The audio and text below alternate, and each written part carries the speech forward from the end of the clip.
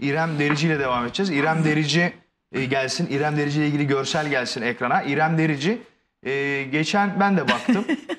Bakın e, Bu kız yapmıştır bunu. bir burun Çünkü itirafı çatlak geliyor. bir kız bu bunu yapmıştır. Estetiksiz burnu.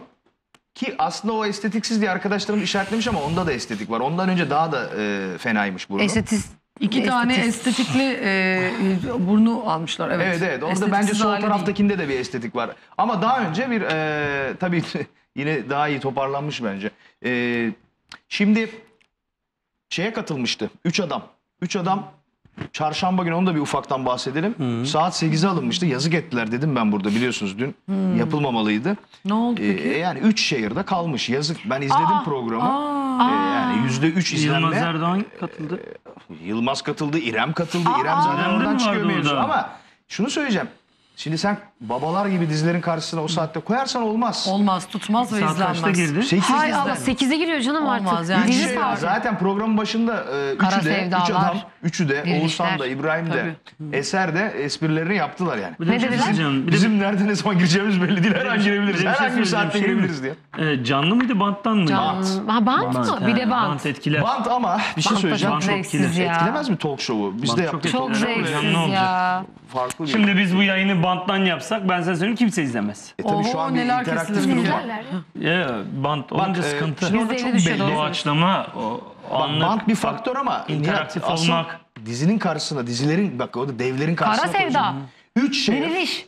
Üç şehirla e, yazık oldu çünkü ciddi de bir emek vardı. Ben sonuna kadar izlemeye çalıştım. Yani büyük kısmını izledim diyeyim. Ciddi bir prodüksiyon vardı. Yazık oldu. Vay. Mesela Cem Yılmaz da Hayırlısı. katılmıştı oraya. O da saat 8'de girmişti. O da 35. falan olmuştu. Biliyorum onu da mesela. izlemiştim. Ne Evet. 35'i? O da iki şehir mi, üç şehir mi almıştı? Ne kanalizasyon? Yerlerdeydi. Neyse.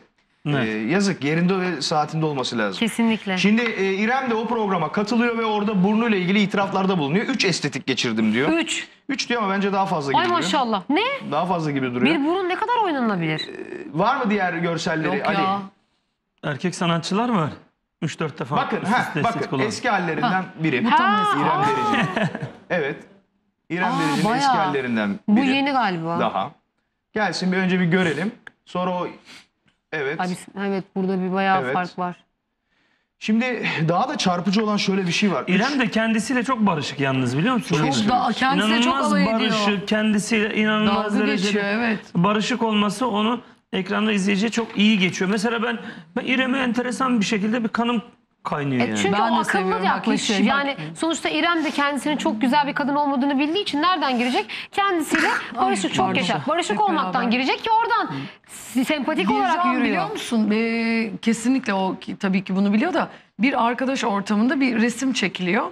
Ee, diyorlar ki İrem bak poz ver.